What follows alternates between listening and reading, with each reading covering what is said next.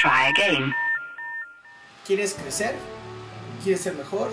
¿Quieres encontrar mejores herramientas para estar en el mundo? ¿Quieres desarrollar tu inteligencia emocional?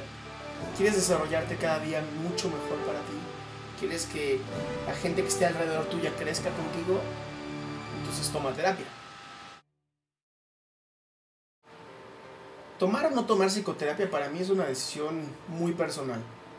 La verdad es que como terapeuta y como una persona que ha tomado psicoterapia ya durante algún tiempo, creo que una de las decisiones más importantes en mi vida han sido esas, han sido tomar un proceso de desarrollo. El, uno de los errores más comunes que escuchamos en terapia es que mucha gente cree que la terapia es para locos. Y la realidad es que pues, hay que estar loco para no tomarla.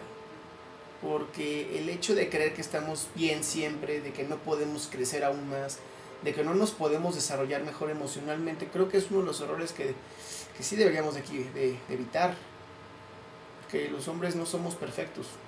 Creo que no hay nada perfecto realmente. Eh, el desarrollo neuroemocional que, que, se genera en la psicoterapia gestalt que nosotros hacemos en la Omigea es un desarrollo desde la inteligencia emocional que gracias a Goleman, pues hoy tenemos información, hoy tenemos información de que una persona con una buena inteligencia emocional es una persona que va a tener éxito en la vida.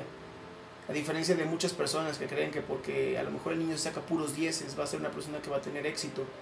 Cuando la realidad no es esa. Estadísticamente lo podemos ver mes con mes, día con día.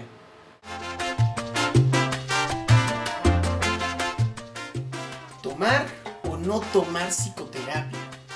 Qué buena pregunta. La contestaré. Tomar o no tomar psicoterapia para mí es una decisión